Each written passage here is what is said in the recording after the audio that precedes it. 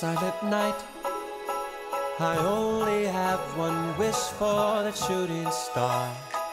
Holy night.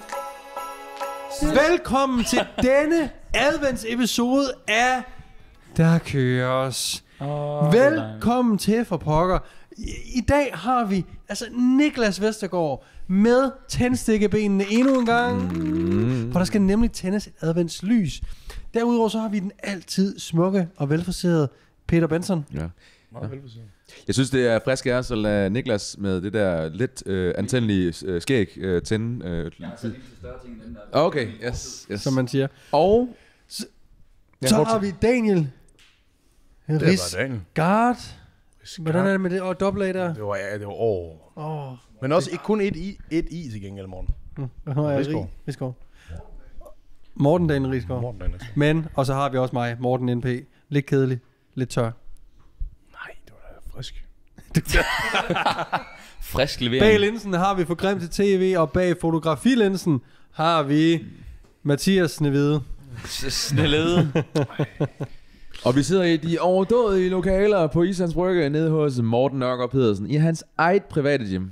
Ej, hvor du sød. Jeg har et spørgsmål til dit eget private hjem. Hvor der mangler at sætte håndvægter derovre. Hvad sker der der? Jamen, Ja, de bruges jo som Øh, øh, den ene der ligger til øh, din mikrofon dernede på gulvet. Nå, så det er ikke en mangel. Nej, nej, nej. Det er Øh, Daniel, han har siddet og undret sig nu Ja. i fire timer over. Han har også været Hvor er sådan de lidt, lidt bitter, lidt, lidt sur, Ja, indebrændt. der mangler en tonehaller. Ja, du har også været sådan, det er da underligt at stille vægtene på den måde der, Ja. som bor. Plejer de at Hvorfor stå hænger de der? ikke Det er det underlige sted, de står. Ja, hvorfor hænger de ikke på Fordi sådan man bruger da kun de røde, gør man ikke det? Så det var, hvorfor er de nederst? Grish. Grish. Skide godt. Det er jo øh, tredje, tredje advent, ikke? Ja, tak. Og jeg har lyst til at sige tillykke hver gang, jeg det- siger det, men, øh, men Tillykke til jer derude. glædelig. Jeg tror, man siger Jesus. glædelig. Glædelig tredje advent, Glædeligt tror jeg. tredje advent. Ja. Noget, der også er glædeligt, det er den rabat, man kan få inde på Hello Fresh, som endnu en gang sponsorerer episoden her. Øh, Niklas, for ikke at gøre det alt for dårdyragtigt, så synes jeg, at du godt kan regne med, at det er dig, der skal præsentere, hvad Hello Fresh Okay. egentlig er. Ja.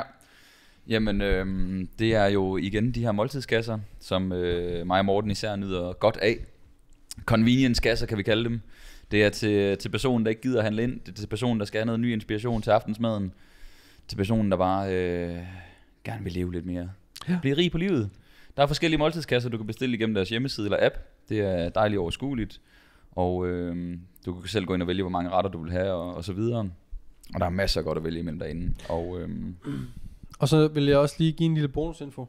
Som ja. Jeg har sagt før, fordi jeg har jo sponsoreret foretagendet her mange gange nu. Ja. Tak for det. Men de her øh, papirer, sædler, whatever med opskrifterne på, dem kan man jo også altid gemme, som altid har deres lækre mm. Opskrifter. Yes. øh, lige ved hånden. Hvis man øh, afmelder det en uge, eller hvis man skal, whatever, øh, ikke lige have det en periode. For det er de nemlig også super fleksible med. Det med at kunne afmelde, hvis man er på en uges ferie, eller Det er pisse nemt. hvad fanden det, det nu er. Ja. Det kan og, være øh, juleferie, man er ikke hjemme, man er simpelthen i Jylland, Ja, eller man eksempel er Mexico, i jo. København for at besøge familien. for det er det eneste sted, folk de bor. Øh, det er Jylland eller Sjælland. København. Jylland eller København. Ja. ja, og man vælger jo selv tidspunkt, øh, hvis jeg husker rigtigt, i forhold til, der er nogle øh, time slots på 2-3 timer, hvor de kan komme og aflevere maden. Der er nogle dage, man Mm. kan vælge, så øh, jeg tror, vi plejer at, at køre det om søndagen eller mandagen, leveringen, øh, noget af den stil. Så det kan man jo få passet ind, som man har lyst. Og hvis man gerne vil spare nogle moneter også, så kan man bruge koden FITNESS, hvis man altså ikke har prøvet Hello Fresh før. Ja. Og det er altså bare fitness. Og det er altså bare godt. Åh, oh, hvor er det godt, de tacos, der er fedt. Kan vi lige tale om vores juletræ? Ja, altså, øh, der var ikke så stort Vores budget. julekogle. Ja, det er nok det mest woke juletræ, jeg nogensinde har set.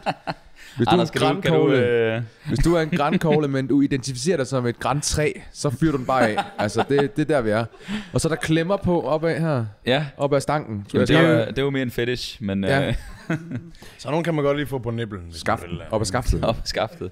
Det var Det for er at gøre jo, skaftet mere øh, fyldigt. Det er jo storhedsvandvid forklædt øh, som øh, kunst. Ja, det er smukt. Ja, der var en, der var nu sidde nogen derude og tænke, det der er ikke, det er genialt. Ja. Ja. Ved du hvad, der også er folk, der har siddet og tænkt over derude? Nogle spørgsmål, fordi at vi har gang i en jule Q&A i Du dag. fanger de segways der, så sindssygt. Fuldstændig. Niklas, øh, træk mobilen frem. Find nogle overdådige spørgsmål Vi skal også lige have en præmie på... Øh, vi skal Åh, også lige have ja. en præmie på bordet. Det, det er... Jeg tror, vi er over en, øh, en build. Men Ja, er det med, og, og der må jeg sige, hvad man skal gøre nede i øh, kommentarfeltet. Det synes jeg er god idé. Så bare lige fortæl, hvad det er, så skal jeg nok lige... Jamen, øh, Daniel, vil du have lov? Jamen, det vil jeg da meget gerne. Så uh, Build, det er en uh, subscription til et uh, træningsprogram, som henholdsvis Niklas Vestergaard og jeg, Daniel Rigsgaard, laver.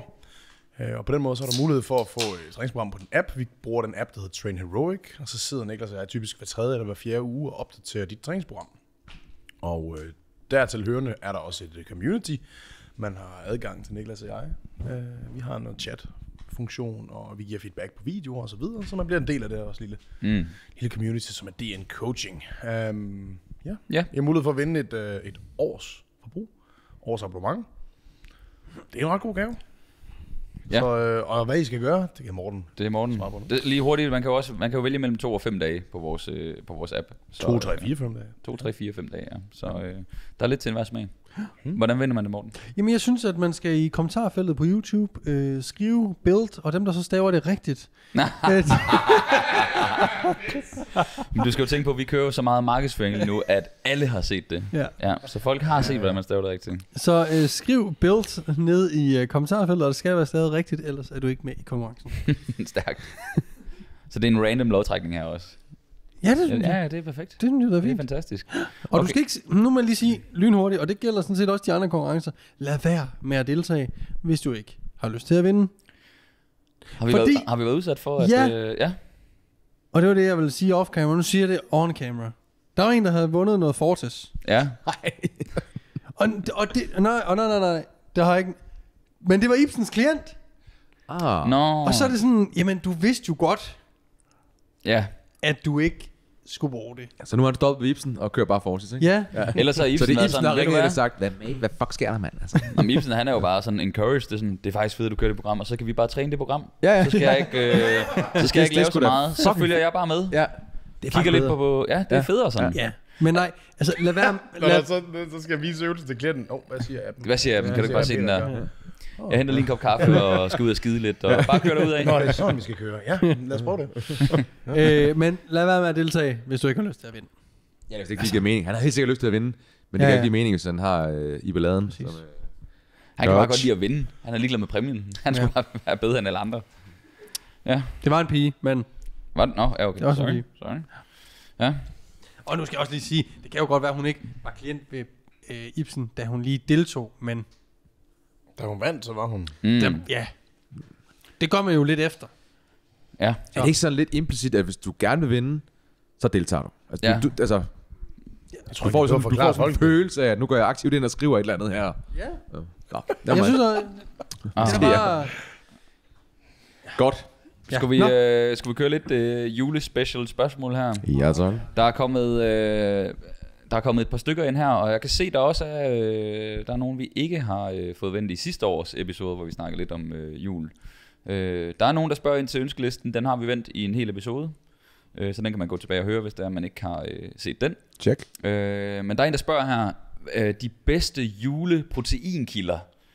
Altså, så, så, øh, og vi kan jo komme nogle nuancer på, men jeg tænker, der er en her, der sidder til et arrangement og tænker, jeg vil fucking gerne beholde mine gains.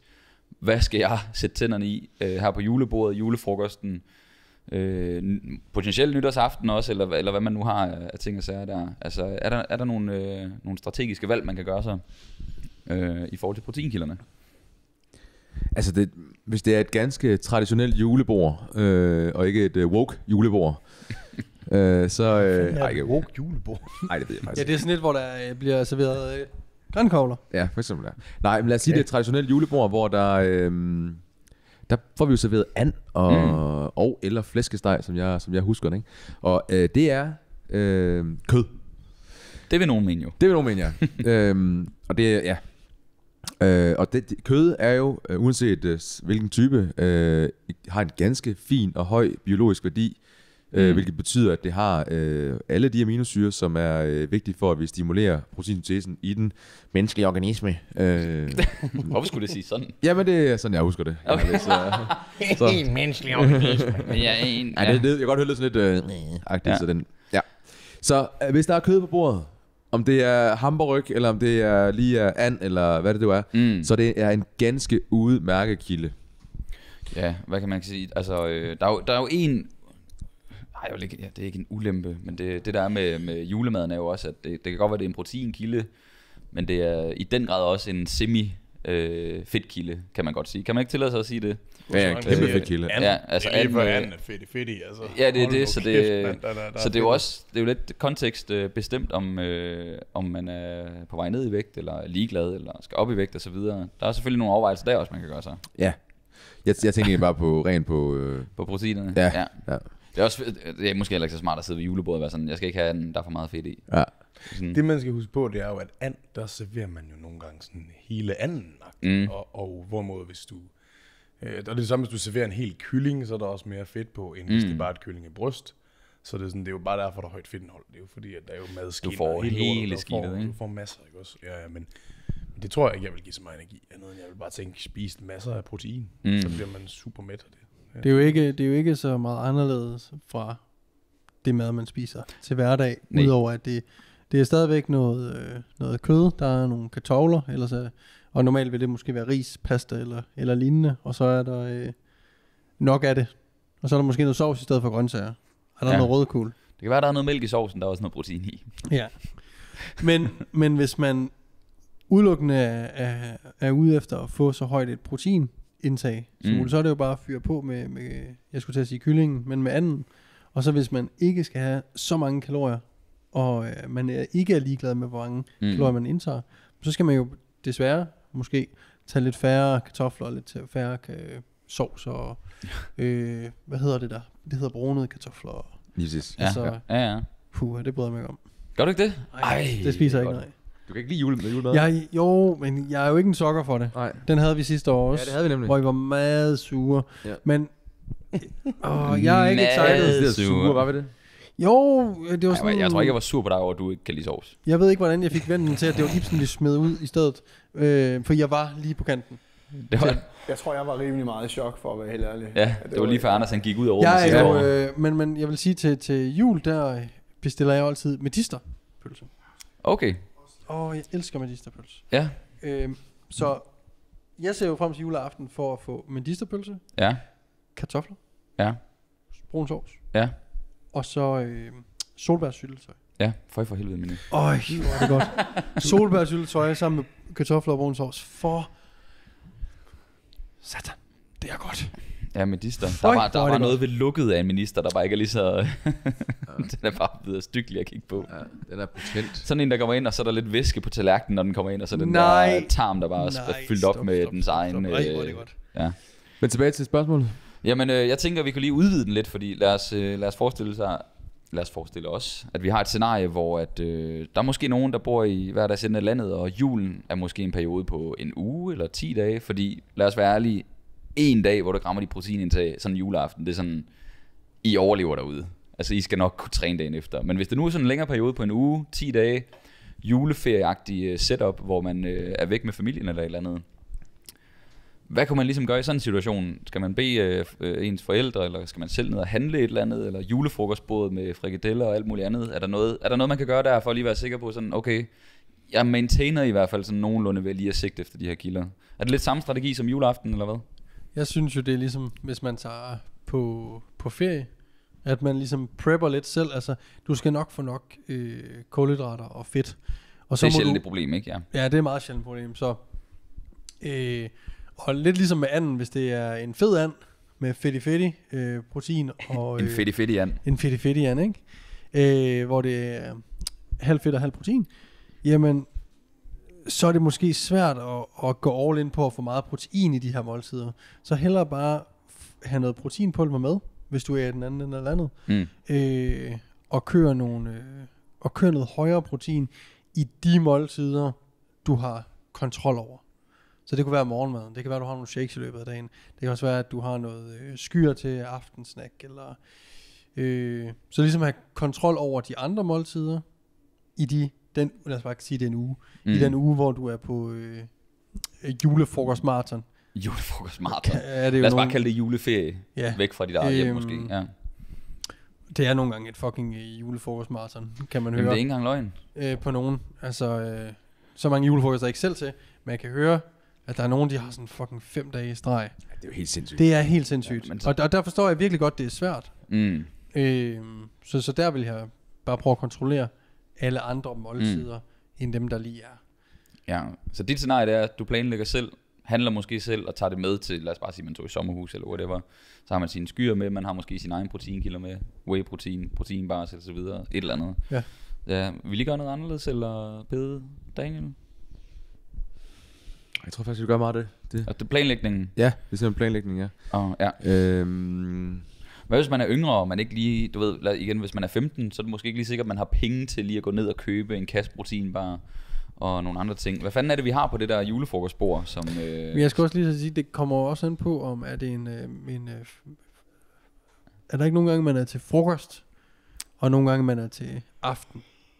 Altså julefrokost. øh, frokost, julefrokost, aften. Ja, Jo, jeg tror, Fordi- det merger lidt sammen. fordi at... at øh, og det gør det, hvis det er. jeg, er lidt, jeg er lidt ude af For de træning. fleste danskere, der drikker sig ned, der bliver man i hvert fald til aften, kan man ikke Jo, jo, jo, jo. Hvis man Ja. stadig står op. Ja.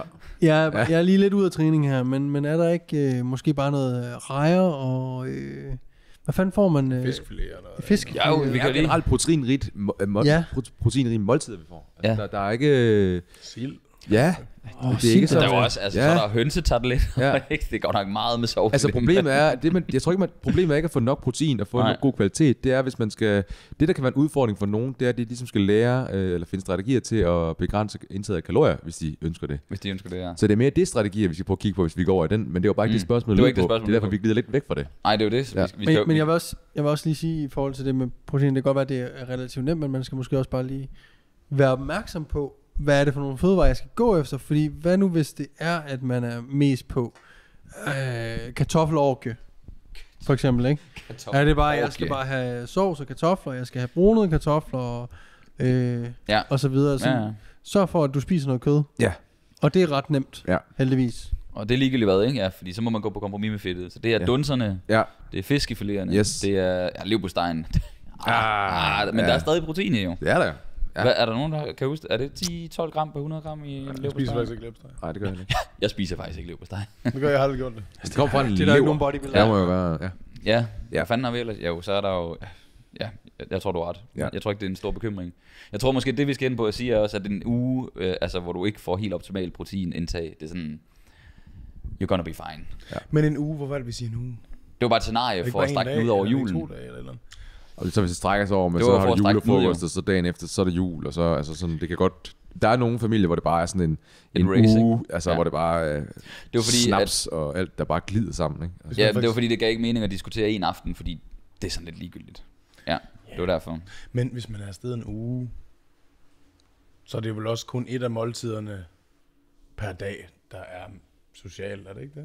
det kan godt strække sig nogle gange, altså vi har også Mate, gange, øh, det er jo, det er jo et, et løbende arrangement, hvor man Ja. er social. Ja, Ja. det, det, Men jeg gør slet ikke sådan noget der. Prøv at høre, prøv det at høre tidligere spurgt, hvordan det, det der med ønsker, hvordan fungerer det? Ja, i, det er øh, sådan en ønske selv. Er det noget, skriver man det ned på en liste så, eller hvordan? Men det, folk, det folk glemmer, det er, at de første 10 år af mit liv, der holdt jeg slet ikke jul. Nej. Jeg er Jehovas vidne. Så. I did not ja. have it. Vi burde faktisk, til Øhm. dem, der ikke kender øh, din forhold, vi burde faktisk lige have en special, en Daniel special, hvor der lige er en background på et lige en tidspunkt. background, Fordi jeg tror, der er folk, der sidder derude og tænker, øh, han, hvad What? sker der, hvad Nej, sker der derovre med? Ja, hvad fanden sker der? Jamen, der, han fik bare ikke gaver. Altså. Ui, der er et åbent vindue der. Prøv lige at se, hvordan det bare smadrer ned med regnen. nej, nej. Nej. Og Nå, tilbage men til podcasten. Nå, tilbage til podcast. Jeg kan du få den jer- derude? Det er ind til Der er nogen, der eller anden det er cykelkælder. Så Jeg vil sige, godt, øh, godt kald med hendes sandwich efter øh, altså de to første Ja, episoder, vi skød der. Men øh, jamen Daniel, det der sker nogle gange, det er, at øh, så mødes man jo til i et sommerhus, så spiser man jo sammen alle måltider. Og øh, de fleste er faktisk pisse ligeglade med det bodybuilding der, så det er øh, ikke... Men jeg tror, i den, i den situation, kan mm. jeg bare sige personligt, så havde jeg bare lige valgt at netop at tage en pose proteinpulver med. Ja. Ja. Bare så jeg ikke går ned på det. Præcis. Og folk er da skide ligeglade, om man engang lige ryster sådan en shaker. Eller Ja, ja. noget. De er skide fulde. Men det tror jeg Ja, faktisk der også er var det, vores øh, bottom line øh, løsning Ja, var. Det var Ja. at tage kontrollen i... Øh, Og, de siger, og hvis man øh, gerne vil skjule lidt, så kan man jo hælde det op i sådan en lille stilket glas, og så kan man jo bare lege Peter Benson, som om man får sådan en øh, Men passion. ikke videre, Øh, en, fa- en fashy splashy, eller hvad, hvad hed det, Det du var fik en, i øh, går? jeg tror, jeg fik en, en fashion passion. Tror jeg, den. Fashion, Ja. fashion. Ja. flashy pashy. Og der var stilk på, og så er det sådan, ligesom sådan et uh, strawberry daiquiri glas. Um, Og, meget, og rigtig meget æggehvide ikke? ja, det var rigtig meget. Ja. Det var lidt for meget til din smag. Der var, der Men det var for at få proteinerne jo. Det var derfor, jeg gjorde Ja, det. ja, Ja, det 100%. var de der 400, 500 gram kød, vi fik bagefter. Det var ikke nok. Øh, Men den der uh, Flashy Passion der, den, den den fik lige ligesom... store øh, tårn, det gjorde den altså. Ja, det Ah, var hvor sindssygt, jeg var klar på mere. Du var klar på mere. Ja. ja. Men I, just, hvis I også havde været unge og friske, så havde vi gjort det, ikke? Men I er jo fandme i parforhold og alt muligt alle sammen. Ej. Nej. Er, der, øh, er det ikke det Jo. for det spørgsmål? Jo, planlæg det selv, og så worst case, så er det måske heller ikke jordens undergang, at man ikke lige rammer sit proteinindtag i, øh, i juledagene. Det er, ikke, øh, det er ikke det, der kommer til at gøre det. Øh, skide godt. Vi har en anden en her. Øh, der er en, der spørger, hvor fanden var den anden? Hvordan skal man håndtere januar i commercial gyms? Og så har hun skrevet sådan i parentes, mange mennesker. Øh, jeg ved ikke, om det er fordi, at man måske ikke synes, det er så fedt. Der kan være noget med det der med at bevæge sig i et center, når der er mange mennesker. Tryk, tryghedsting, eller what, jeg ved ikke, hvor personen leder det hen. Øh, Er det, jeg, hører, jeg tolker det som om, at øh, det der med at bare kunne få en maskine, altså så vildt er det. ja, hvordan træner jeg? Ja. ja. Nej, nej, januar. ja, ja. Man åbner i døren. Øh. Ja. Er det ikke sådan, der vi er? Mere sådan, Hvordan skal jeg håndtere januar? jeg, jeg kommer ind, lad os sige, man har en plan om at skal træne ben. I stedet for, at du kommer ned, og så, så er der, øh, der er syv squat racks, og de er optaget, og der står fire kø. Øh, hvad, hvad gør Ja, du det, så i stedet øh, for? ja, vi Ja. kan jo. Jamen det er det, vi det kan er jo det. fortolke det, øh, som vi nu har lyst, men det, kunne, det kunne være sådan, gud, jeg kan simpelthen ikke overskue, at mit program bliver fuldstændig kastet ud. Daniel, du er meget øh, målrettet. Altså mm. de fleste er jo også målrettet, gerne vil være mere fedt, mere stærke, men de der er jo sådan, hvis der er dage, du ikke kan lave det, der står på dit program, så kan det vidderligt gå ud over, om du når dit mål, sådan relativt mm. drastisk, ikke? Det er sådan, fuck man, hvordan skulle man lige håndtere at komme ind i sådan en fitness world, du ved, 2. 3. januar, når tømmermændene har lagt sig, og så boomer det bare. Altså, jeg kan sige, det er jo årsagen til, at jeg ikke gider træne i et commercial gym. Mm. Altså, let's face it.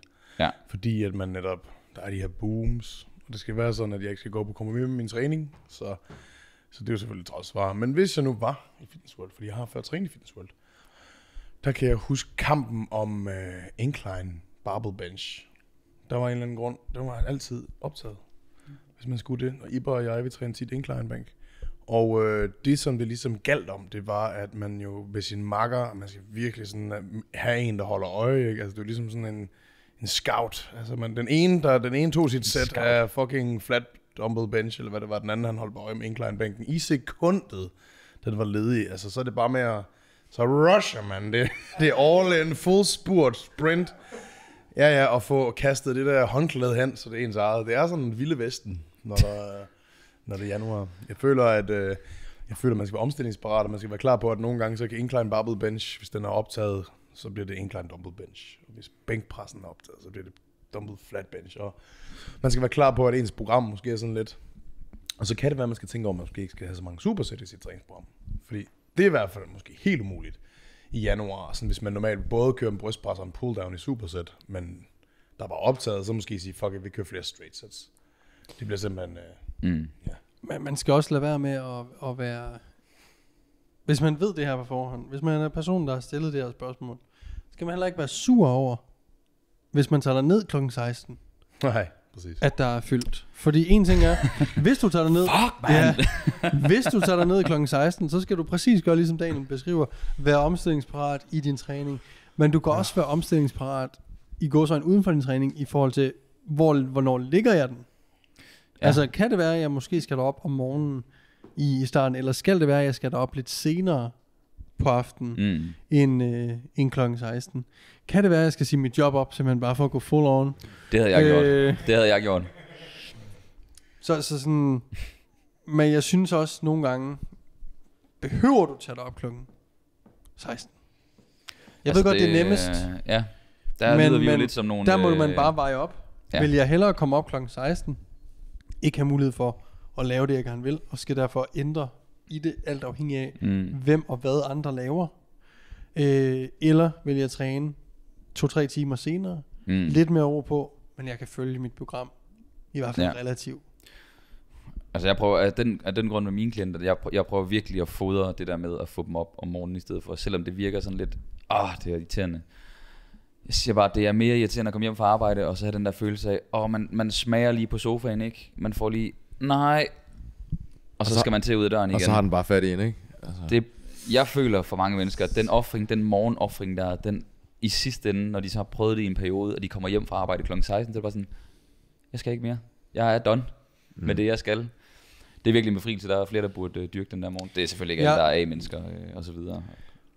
Men øh, havde du noget tilføjet egentlig? Ja, det var fordi nogle gange, så er der jo også en kæmpe social ting i, at man er alle gutterne klokken 4. Det er rigtigt.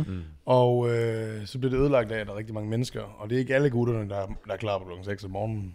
Så er det i hvert fald hele, så er det hele banden, der skal omstillingsparat, ikke også? Men så er det sådan, nogle gange kan jeg da godt huske, at det var, det var pisse fedt, at det er de samme gutter, man støder ind i nede i gymmet. Ja. Øh, og, og så, man vil egentlig ikke give afkald på det. Mm. Så man kommer ned, og så kan man i fællesskab brokse over alle de nye. og odds på, hvornår tror du ham der, han giver op? Ja. Hvornår tror du, han giver op? Hvis vi nu bare, hvis vi bare, hvis vi nu bare står og kigger på ham, indtil han fjerner sig. Sådan seks gutter, der står og kigger på en eller anden klein benchen, mens han ligger. så kan det være, at han flytter sig hurtigere. Men Ej, det skal opføre pænt. Ja, altså i forhold til det der med, at jeg tror noget af det, man skal gøre sig klart, det er, at det kan være... Træning er jo fedt. Det er det, vi skal huske på. Vi gør det, fordi vi kan lide det. Mm. Øh, men det kan godt blive sådan en stressfaktor. Man kommer ned, og du har bare en plan i hovedet. Du skal bare følge den plan. Lige den periode, hvis du træner i et center, hvor der er rigtig, rigtig mange mennesker, så tror jeg, man gør sig selv en tjeneste ved at ligesom sige, okay, prøv at høre, vi ved i januar, det er crazy.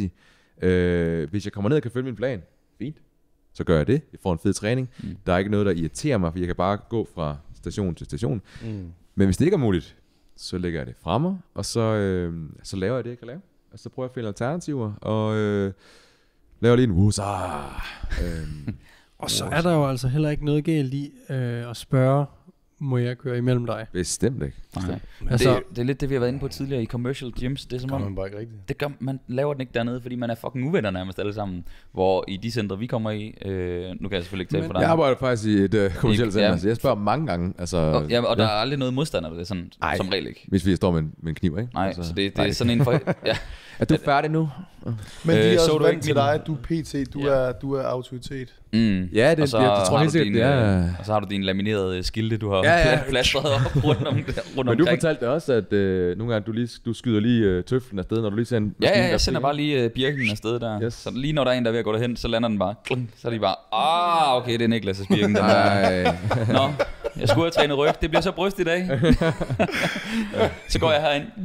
Kommer den bare. Ja, så, okay, ja, det er, folk forstår det. For jeg satan det aim, jeg havde Men- til sidst med vristen der. Jeg vil så også lige sige, en ting er, at jeg derude, der lytter med, skal være gode til at spørge, om man kan køre imellem. Hvis I derude er de pikhoveder, som ikke gider lade andre folk køre imellem, så Ja. skal I måske også lige Stop med at være pikhoveder, ikke? lade være med at være jeg pikhoveder. sender altså. Nej. Fair nok, hvis I er nede for lige at, hvis det er sådan en session, hvor I, det, det er lige fuld fokus på det der, hey, det er jeres rack, fyr den af, gør jeres ting, fyr mm. det hele. Rack?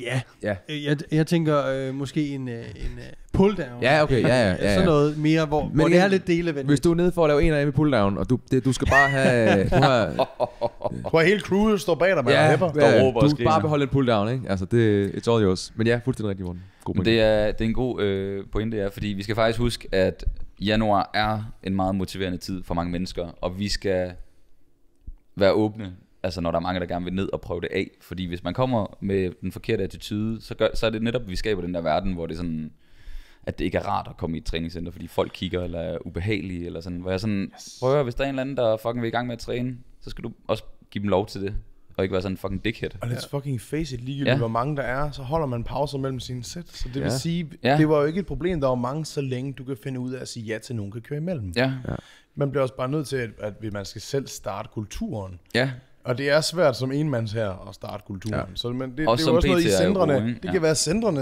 ved Fitness World skal lave en eller anden øhm, reklame, der kører på skærmene. Husk nu, det er okay at arbejde, køre imellem hinanden. eller, husk at lave plads til alle, eller det, whatever. et eller seriøst, andet, fordi det er sådan en kultur, der skal starte med dem. Ikke? Det er Ja. ligesom det der med, at, at man... Øh, kender I det, når man er, når man er nede og træne? Øh, dengang, har, har I alle sammen trænet i kommersielle gyms? ikke? Ja. Øh, way back, ja. Har du også det, Peter? Jeg trænede i det. Ja. Ja, Du træner også stadig i Fitness X, når du selv træner? ja, og eller i Fitness World. Jeg er også medlemskab i Fitness World. Fitness World. Okay. Så, så der er også den der type, som går helt modsat. Jeg kan i hvert fald huske, at vi havde nogle gutter, som var sådan ret træt af det, når der var sådan nogle lidt Mm. mere bodybuilder-typer, som sådan kunne finde på, når folk kommer og spurgte, hvor mange sætter du tilbage, så svarer de sådan noget, det er jo et fuck af, eller jeg har otte sæt eller et eller andet, ikke? Hvor det sådan, så det er, jo, det er jo noget, der bliver skabt af den stemning, der er i gymmet. Mm. Også, og det, og det er faktisk af de folk, som har været der længst tid, det er jo dem, der kan faktisk skabe selve jargonen, ikke også? Fordi det er dem, der måske har lidt magt. Jamen det er jo det. Eller så, og så siger de det der, og så kigger man på dem to minutter efter, og så sidder de sådan her mellem sættene på telefonen. Mm, ja. Så er det sådan, okay, jeg, jeg kunne godt have noget at gøre mine 10 gentagelser. Mm. Altså, ja. Ja, P-kode-energi. Prøv, den er der, Anders, den det er der essensen af meget, gems, det der. Ja. Men øh, og så er der også nogle gange sådan, kommer ind og spørger folk sådan, øh, hvor meget mangler du? Ja, man godt nok fem sæt. Okay, shit man, øh, hvor lang tid går der? Ja, det går nok lige fire minutter. Ja. øh, der skal lige, okay, jamen så, så, så jeg sådan tænker, du holder simpelthen ikke nok pause til, at du kan øh, øge din belastning og holde din belastning. øh, men fred være med det. Godt, jeg kommer tilbage om fire minutter. Ja, Ja. Øh, Ja, med et, med et visitkort og en uh, lille håndbog omkring Ja. ja. progressiv overload. Yes, præcis, Ja. ja. Og et visitkort, så skal jeg ikke lige hjælpe dig, der er makker. ja. Ej, men det er jo også trænere, der skal sætte, øh, være gode til at gå ind og så vise Det var svigerfamilie. Gud. Det er selvfølgelig familien, der skal ned og se hjemmet. Øh, ja. Jamen, det er jo også, øh, jeg tror, vi er de bedste øh, forbilleder for andre medlemmer. Fordi jeg tror, de spejler sig lidt i, hvordan PT'erne går i centrene. Så når vi smiler og siger hej til alle, hilser og giver plads, selvom vi har klienter, giver vi fucking plads til, at der er andre, der kan være med og sådan noget. Ikke? Altså det, det skal andre se, så de kan være sådan, Det tror jeg faktisk, jeg vil begynde på så. Nu siger Ja. øh, jeg skal lige ned og fjerne min, i skeden, ikke? min 18 laminerede skilte, skal jeg lige fjerne. ja, rundt. dem du aldrig fjerner, du lader dem bare sidde. Der er sådan et billede af mig på, sådan helt sur. Ja, Man, er jo, ja. man er jo ofte dem, øh, personlige trænere, dem som skaber Ja. Kulturen, ikke? Mhm. Har I, øh, har I tidligere, og du gør det måske stadigvæk også, øh, i forhold, det er fordi jeg arbejder ikke efter med det mere, så det er ikke et problem vel.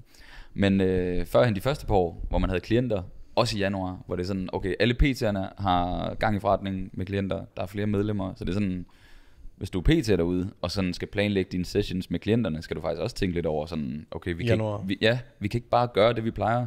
Det går, vi bliver nødt til at køre fire øvelser i stedet for seks øvelser med her fra Danmark, hvor mm. træningen er sådan, det er ikke livsnødvendigt, at de, de rammer alle bevægelser, vel? Ja. Øh, så der skal man måske lige tænke over, okay, normalt, øh, der gik jeg ind fra det ene rum, og så ind til det andet, for at lave et lille supersæt.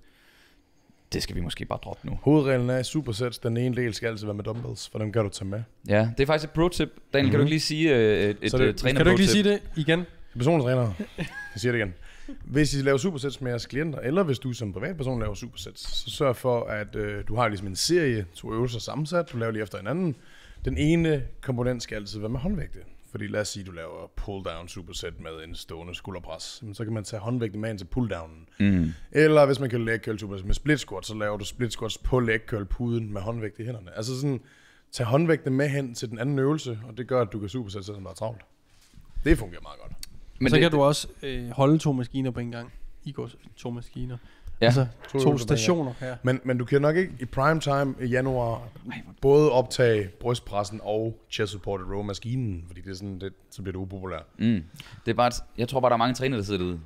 Wow, det har jeg slet ikke tænkt på. Ja. At man sådan, selvfølgelig kan man tage dem med derhen. Det virker så simpelt, det virker så banalt. Men de holder håndvægtene hen ved dumbbell racken. Mm. Tag dem nu bare med hen til Jeg tager dem med hen. Ja, og hvis de så bliver forstærket, så skal du gå en tur mere for at hente den næste. Og sådan er det bare. Det eneste, den, den eneste, ej det ved jeg ikke, hvad det er, men den største udfordring, det oplevede vi også i går i øh, den fitness world, vi var i, og op til øh, tidligere episoder, der køres, Ja. er, at øh, mange fitness worlds er jo på 16 etager eller sådan noget. Så håndvægten har vi på første, og så har vi uh, op, på, trappen, øh, håndvægten? op på 13. etage, ikke? Mathias Åh. Tostrup, kan, når I kigger på lokaler fremadrettet, så bliver I simpelthen nødt til at få... Et plan, et plan, et plan. Jeg troede, du skulle til at sige, ja, et af de problemer, vi vi, vi jo har, det er, at øh, jeg simpelthen bliver genkendt så meget på grund af TikTok, at øh, jeg kan simpelthen ikke få lov at træne i fitness. Ah, ja, så jeg undgår hele januar, fordi der ja. er Ja. simpelthen for meget øh, forstyrrelse i forhold til mit arbejde. Men lad os se, om de her 25% øh, momme lomme, om de ikke bare gør, at vi får en helt almindelig januar. Øh, som det kan de være, det andre udligner måneder. hinanden. Ja. Der var et plus size til momsen. Ja. Det er første gang, vi Der fandt er kun rige mennesker i gym nu. Ja. Simpelthen. Det virker ikke så godt, at vi elsker det. Nej. det, er sådan, det, det virker lidt forkert. Ej, vi kan alle er velkomne, ikke? Ja, lad velkommen her. Alle. Yes. Ja. godt. Skal vi have et nyt spørgsmål, eller? Jamen det kan vi godt. Der var en, der var øh, lidt, lidt fræk i, øh, i formuleringen her. Åh, oh, det kan jeg godt lide. Altså ikke noget med læder og sådan noget som sidste episode. Hvad så, Anders? det, Der at spise om, eller hvad? Ikke så, Anders, han pakker lige snegl nummer 4 op nu. og en god Der snegl en- der. En god snegl. Nej, der var en, der, er en, der skriver sådan her. Det er også et fedt navn, han har. Dead, deadlift Deus. Deadlift Deus.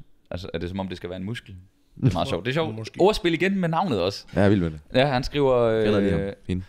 gode øvelser til juletræet i gåsøjne. Ah, Ja. ja. Yes. Så Så han, øh, han vil gerne bare have en Jack lidt, tror jeg. Juletræet er jo primært hvis bare et scenespejl, som jeg husker det, ikke? Yes. Altså, ja. Men er vi ikke enige om, vi har set nogle mennesker... Dan, jeg synes, du har vist mig nogle bodybuilder, hvor det er sådan... Det der Christmas tree mm. er altså insane. De har en fucking pukkel nede på, på linden. Er det ikke rigtigt? Jo. Altså, så Er det det, ikke en af det seneste, seneste strøg fra Lats, som Jo. løber helt Jo. ind til Lombard? Sådan. Men, men under neden ligger vel Erector, ikke? Altså, de ligger vel og... Det er rigtig der var vel også noget Q eller noget andre. Så den ligger vel og strider der. Det er Ja, den ligger lige også- Det kan vi træne. Vi kan den træne øh, den der T-bone, der ligger i midten, ikke? Ja. Og så har vi så scenespejlet ud fra, og så ud fra scenespejlet, der udspringer latten så. Ja, så Øh, når man er rigtig hakket, så man kan lige se, at latten kommer ind, og så er der lige en lille fordybning. Ja. Er det så senestrøget, der kommer yes. yes. bagved? Og så kommer rektoren ind i midten. Du Men kan vi faktisk har se, vel- du kan se det, når folk laver en... Det, det er jo så super internt, men lat spread. Ja. Der kan man se, hvordan det sådan er. Sådan Ja, her. så trækker de jo i... Sådan Øh, yes, ja.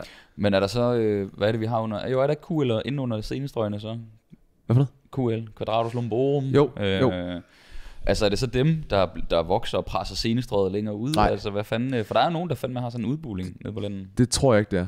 Det, øh, Det er bare hvis lige- Hvis jeg lige tænker over spring, udspringer hæfte for, for QL, så... øh, så vil det, Altså, jeg er ret sikker på, at du... Det der dens fucking thickness, der foregår fra helt ned i bunden af rygsøjlen til midt. Det vil bare være i, i Der er rektorerne, som er virkelig... Det er dem, der er dominerende fylder der. Meget, ja. Og så er der nogen, hvor, der, hvor at, at, at folk, de... øh, At latten har forskellige tykkelse forskellige steder. Mm. Så der er nogen, der er meget tykke tidligt i forhold til, hvor kommer, øhm, hvor kommer senestrøg. Så er det sådan ret tidligt, at fasciaen den bliver tyk. Mm. Det lyder sjovt. Men, Fasciaen bliver tyk. Der er folk, der sidder derude og skal lige øh, tunge lige i munden der. for der er nogen, der laver en Ja. lat spread, og så kan man se, at helt inden midten af ryggen er der bare noget density. Og så er der mm. nogen, som, hvor den bliver sådan bare sådan flad, en stor flade. Ja. Øhm, det, og det jeg har tit tænkt over, det er underligt. Øhm, men, han spørger, hvordan man træner hans Christmas Jeg går tree. ud fra, at han gerne vil have et Christmas tree, der, der sparker røv. Ja. Altså når han er i... Øh, Han skal, bygge, han skal bygge nogle rigtig stærke lats. Ja, For det første, de der lats, sene, altså det her senevæv og så videre, det skal alle sammen styrkes. mm. Så skal han i rigtig, rigtig lav fedtprocent også. Og han skal selvfølgelig også, fordi Christmas treeet er jo overgangen fra, hvad kan man sige, erektor, senestrøg, lat. Mm. For Christmas treeet bliver jo, det om, hvad kan man sige, omridset kommer jo fra, når du for eksempel yes. spænder din lats, så kan du se det, ikke også? Mm. Og hvis han bare spørger, hvordan han træner hans erektor, jamen, så er det jo bare alle hyperekstensionsøvelser, og hvis du skal arbejde med den statisk, alle hip hinge øvelser. Men Ja. ja. nu, nu er det også lige sådan en ting, som er lidt underligt at fokusere på i den forstand, at du skal ned i en fedtprocent, hvor det for, for det første er Mm. synligt, øh, og hvorfor at du gerne vil have det, og hvis du bare går efter at få en virkelig, virkelig god ryg, så kommer det typisk Mm. automatisk. Også så er det til en vis grad. Det Ja. gør ikke noget. Ja, det, Du undersøgte lidt. jeg skal finde ud af, hvad lortet hed. Jeg kan simpelthen... Åh, jeg kan, jeg kan ikke have, når jeg ikke kan huske det. Hvad frem til? Thoracolumbaal Det er så irriterende, når man har taget en med hjem og sådan, hvad fanden var Ja, det? Åh, det? Hvad hed Julie. Lotte, Emma, hvad fanden var det, du hed? Thoracolumbaal. Thoracolumbar fascia hedder den. Thoracolumbar Ah, okay. fascia, okay. Sådan der, ja. Men altså, altså, det- fra thorax og op til... Ja. Jeg kan gerne give en update på sneglen. Ja, den smager godt. Var det, var det den samme snegl? Ja, jeg fik lige. Så det er dobbelt op på lavkagen? Ja. De har stadig byens bedste snegl. Det har de, og det er lavkagehuset. Ja. Kæmpe skud ud, direktørsneglen. Ja, føj, den det skal jeg bede om. Og det er 800 kalorier på 5 minutter. Det er dejligt, dejligt nemt. Yes. Nå, for at vende tilbage. Ja. Hvad træner I? Hvad synes I, træner I rektorerne bedst? Åh, ja. Træner I direkte i rektor? Dynamisk? Nej, de arbejder ekstension. statisk, ikke? Altså i, i diverse... Kunne man godt argumentere for at lave et eller andet? kunne man Altså, sagtens. jeg vil sige, altså jeg ved ikke, men, hvordan I laver, øh, når, altså cable rows, jeg kan godt mærke mine rektor, men jeg har også, jeg kan godt lide at læne mig Ja, altså, du laver den bagud. Ja, jeg laver den lidt underligt. Så, Jeg øh, Jeg synes jo, øh, hvad hedder det, øh, jeg kan godt lide at se vægtløfterne lave... Øh, Hyper, extensions? Ja, zero Ah, degree ja. hyper extensions. Mm. Øh, Det er en ordentlig svej. Ja, ja. men de, de krummer også bevidst på vej ned, ikke? Altså de vil gerne, vil de gerne have meget Der bevægelse får ind? ikke så meget bevægelse i, i hoften, som man kunne. Mm. Er vi ikke enige om det? Der, der er mere flektion og ekstension i Det, det er sådan lidt, for dem tror jeg, at det bare kører fuld smadret på alt. Okay. Øh, baglår, baller og lænd. Altså, Ja. det er virkelig bare at være så eksplosiv som muligt, og de tænker jo ikke på at bruge deres lænd. Nej, Du tænker bare på bevægelser. lige præcis. Mm. Øh, det er ikke noget, jeg bruger som sådan. Altså. Så er der også en Jefferson curl, som også er, er sindssygt lækker, ikke? Og jeg tror, at rigtig mange, fordi de, de sidder så meget ned, som de gør, det er sgu sundt at få de her... Øh, Jeg tror, det er der, du bygger de Christmas tree Jefferson curl, dude.